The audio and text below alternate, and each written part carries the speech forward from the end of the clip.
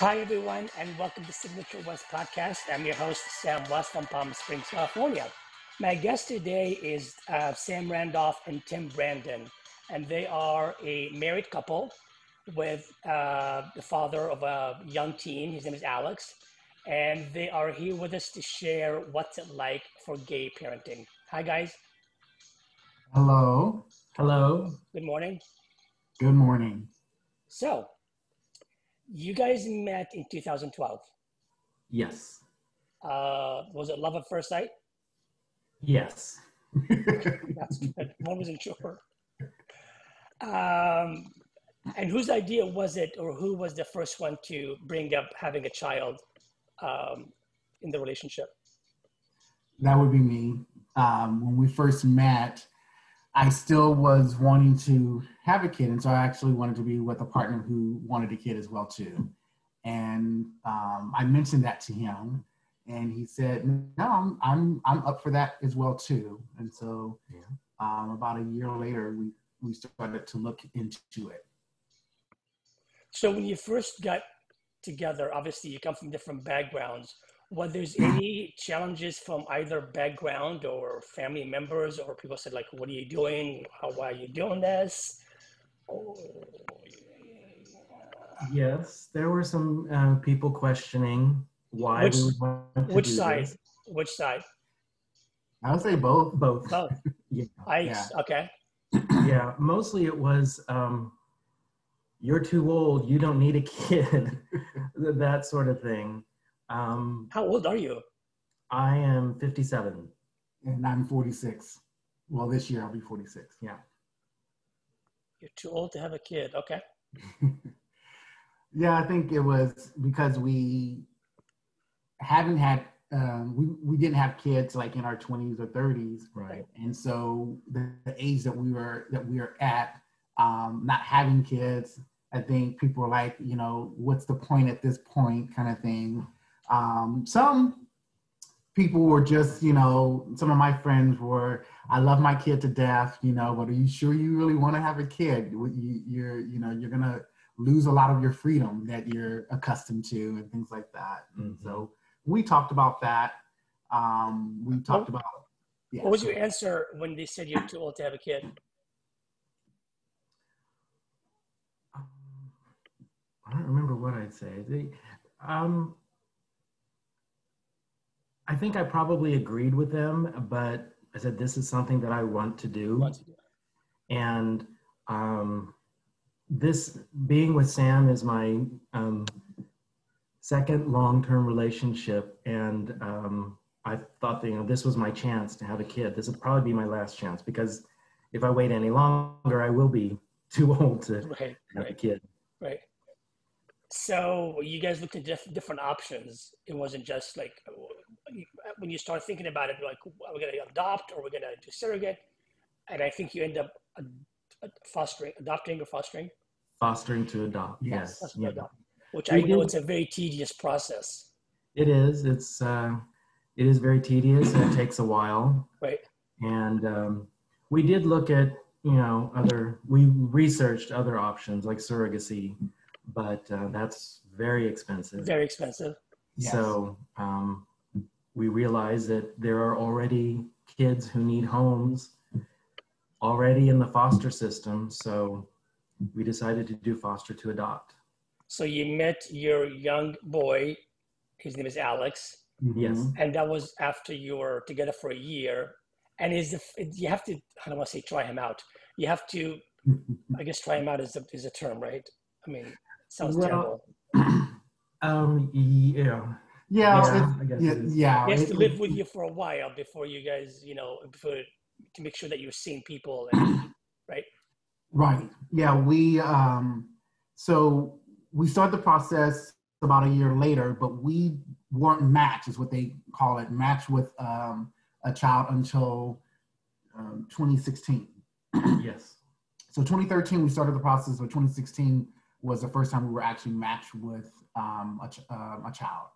And then we started to have visitations, and then he came to live with us, and then that was a whole process of, I guess that's when the foster to adopt really kind of started. any challenges in the process of being gay and being inter- interracial marriage? No, we No. we didn't um, we didn't really have any challenges, but our social worker um, did tell us that we could have challenges with certain with possible certain um, maybe even foster foster parents who, who might not approve um, might all of a sudden might want to adopt the kid just because of that. Um, but we fortunately didn't have any of those issues. But it could have been. It could have, Yeah. yeah Could have been. and not so much because of the because of um, DCFS, but more so it could be more so because of um, other people involved, maybe like you know his his family, you know. So is, is his family still a- around? There, you guys know them? Did you get to know them, or they're they're nowhere to be found? we were not. We know who they are, but we a meeting or visitation never occurred, so um, we don't have any relationship with them whatsoever. Do they know who you are? Yes, uh, they know who we are, but they never, we never even met. They There's never no, came, there's no. yeah, they never came to the court to make an appearance or anything like that. So Wow. we never got to um, meet his mom um, or um, his his mom's side of the family because that's who was more involved. So he was five years old when you first uh, brought him in, Yes. Yes. and now he's thirteen-ish, No, no, Nine. He's No? nine. Nine. I did um, I did the math last night. Why am I so bad at math? Okay, he's nine. Oh, Okay. maybe because I didn't give you the actual birth date. I just. Oh. yeah. Okay, so Yeah. it's your fault. Okay, so so when you first he first came over, what was that like? What's the first serious conversation you guys had? Obviously, he's very foreign to to the two of you. Um, five years between how many homes? I'm not sure. At least two. You'd be the third. So, what was the first serious? I'm sorry. There, yeah, he had, he was in the foster system. Basically, he was taken away from his mom when he was four months old. Oh, so he was very young. And then, Yes. yes, um, so he was been placed in several foster homes.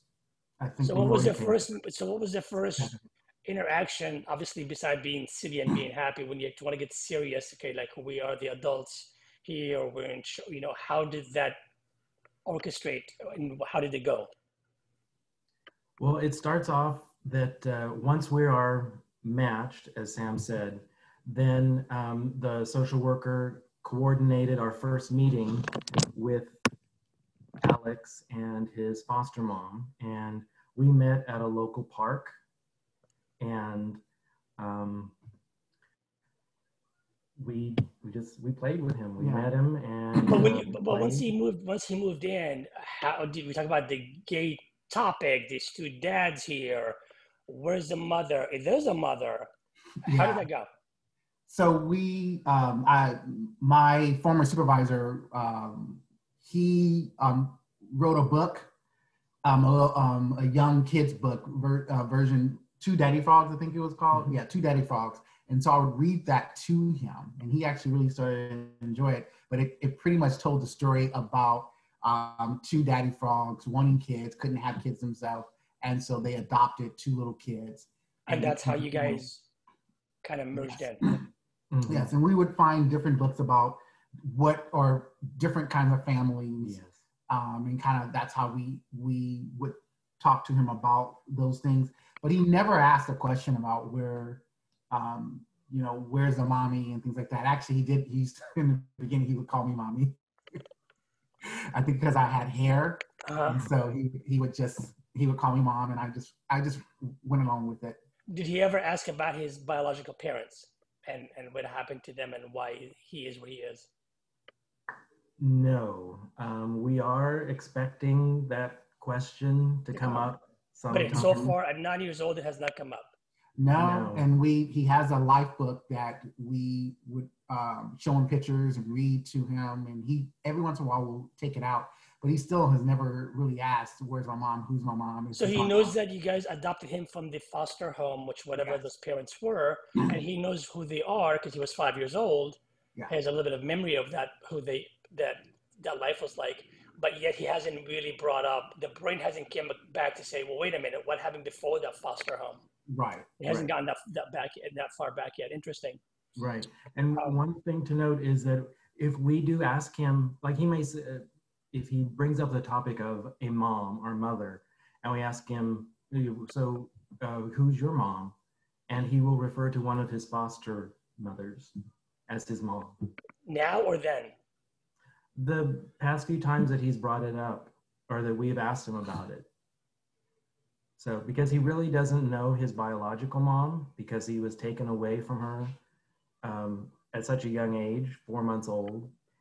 And um, she really didn't make the effort to come and, you know, try to reconnect with him uh, with, you know, with the social worker. So do you guys ever explain, do you clarify that, that your foster mom is not really, do you ever get into that's not really your mom or do you just let it go? Or just let it go. Just let it go for now And yeah, when he's ready to um, to figure it out. find out more, when he has more questions about it, Mhm. we'll talk with him about it. But I'm sure there's going to be several conversations building on each other. Yeah, I, I go ahead. So now we're in a generation that everything, you know, I have black parents, friends of mine, I have straight parents, friends of mine, but it's always been the case that it's a different conversation when you have an African American child. Black Lives Matter. Have you guys had that conversation yet? Or We- what is we that? have, yeah, uh, we live in Long Beach, and uh, after uh, the incident with George Floyd, they did uh, protest downtown Long Beach, and uh, they did riot. Um, the day after, um, Alex and I both took off from school, and uh, we went down and we helped um, with the cleanup. So did he ever did he ask what is that about? What why is this happening, Dad? Or who's who's uh, who's Floyd and why did he die? Yes. Oh, Yeah. So yeah, we had you know very serious uh, uh, conversation about that. And that, um, while we were walking downtown, we walked past his former barber shop that had been burned down, and where we took Alex to get his uh, haircut. does Alex go to your school? No, Okay. he goes to a, a local elementary school. That, that we can walk to. It's literally down the street from where we live. Okay. Um,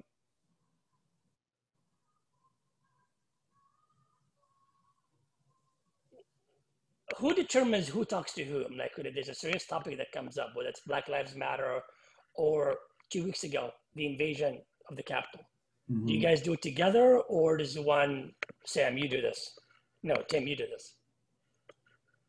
Do you guys have a like sort of an understanding of assignment, or is it a, is it teams work? It's just, it's, I think it's more of a teamwork. I mean, I think it just depends on um, maybe sometimes who's home or Yeah. if he starts to ask questions, you just go with it. Um, I don't think he, either either one of us. Um, I think we feel comfortable with bringing up topics with him um, or answering a question with him. He's um, he is a curious kid, but sometimes but it's interesting the stuff that he's curious about. So some of this stuff he hasn't been too vocal about or, or asking a lot of questions. No. Um, so we haven't had to like have a lot of conversations with them, but we've had some conversations with him definitely about the what's the um, why is why he can't, for example, um, have his um, little uh, dart gun in the street. Dark gun.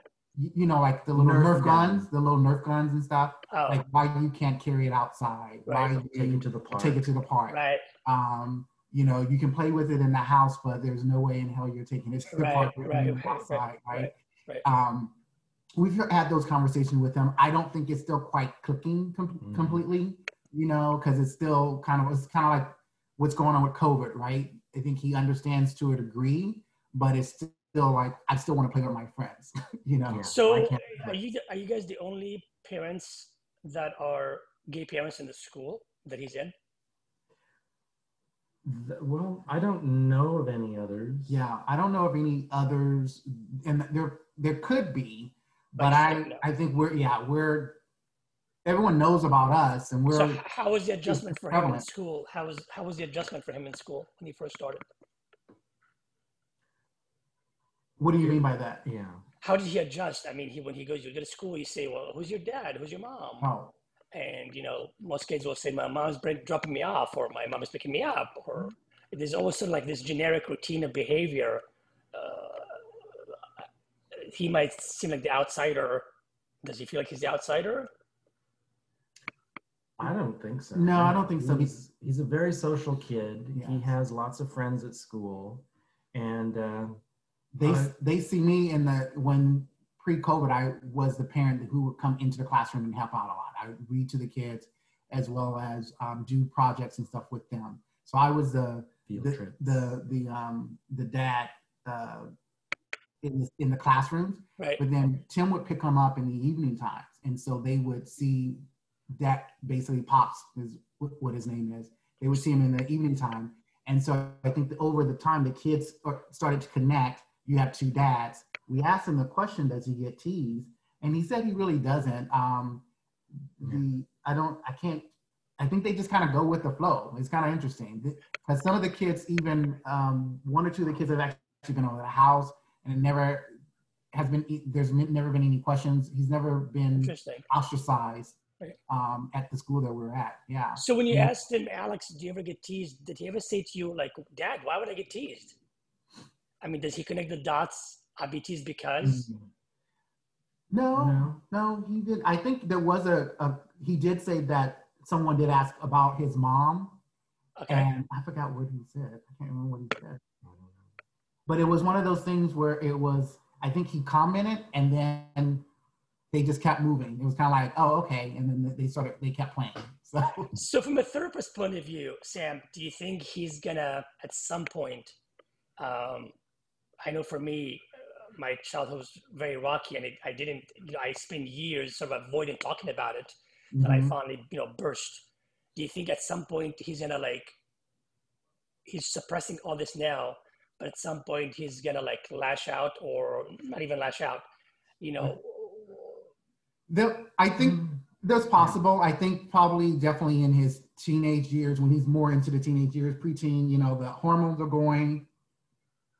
There's probably more recognition, more more understanding of the world around you. Around that time, you you know, you're learning about um, history. The there's the social pecking order starts to happen, and so I think at that point he might start to ask questions or to um, maybe you know have this attitude and stuff and then we'll have to try to work through and see Right. what actually is underneath the, the surface Right. which Right. is good that i'm a therapist i mean a lot of times Mhm. and he's a teacher because a lot of times the conversations we have with him um, when he is not so receptive we we pretty much kind of figure out how to how to um, still be able to pull it out of him and see Right. what you know what's going on or just take a break and go he'll come and talk to us when he's ready and a lot of times that's what ends up happening Right. So, did he spend much schooling pre-COVID, or COVID came like just in time when he didn't really have much schooling before, or friends and social life? Oh no, he so he was in kinder when we met him, and he was had been in um, in school the, the whole time. Um, I kept him in. Well, we kept him in the Gardena School District, which is where he was before we moved him to Long Beach. So we waited until he was going to first grade before we moved him, just to kind of have a, a, a easy transition.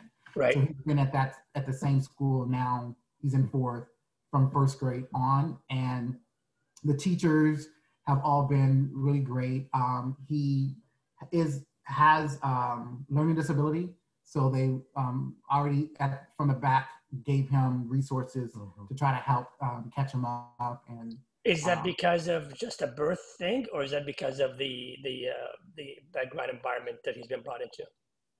it was a combination of, of, of the two. His first placement was pretty stable. He was there for three years, um, but he does suffer from fetal alcohol spectrum. He's on the spectrum for that, and so that can help. That can contribute to um, behavioral as well as um, learning disabilities. And so um, he struggles with reading the most, and so that's the that's where a lot of the focus um, has been placed. But regarding adapting, he adapted very quickly. Like a lot of the teachers and parents that we've met, um, they were really shocked that he wasn't our biological kid.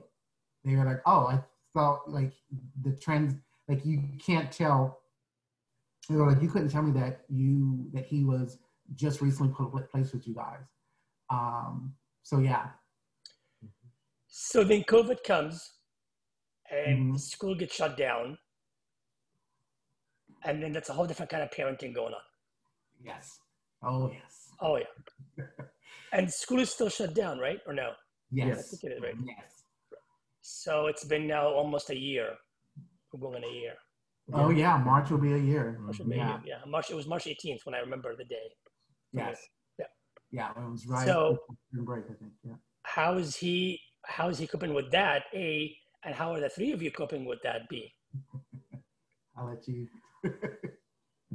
Well, we're uh, we're all home, and um, I'm uh, I'm in one room teaching my classes, and uh, Ale- uh, Alex is with Sam, uh, you know, trying to you know get online and be in his classes, and uh, and then Sam tries to do his work when he can.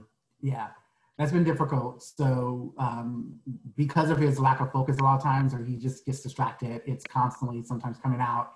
Hey, Dad, this is what we're doing in class today, or Hey, Dad, I need you know, and I'm like, go to your teacher, tell her, explain it to her. You're like, this is, I'm not your teacher. You know, I'm trying to try to keep that separation there, but it is it's a struggle. And then when school is over with, he has you know either homework or still stuff from you know that from the day that he has to do and um yeah so it's that's where we switch. So and once I, I'm done with yeah. school with my classes, then I come and I help Alex with his homework and other schoolwork and and then And I how go, has been the I go into work and how has been the learning disability that he's been focused on before is being implemented now that he's at home?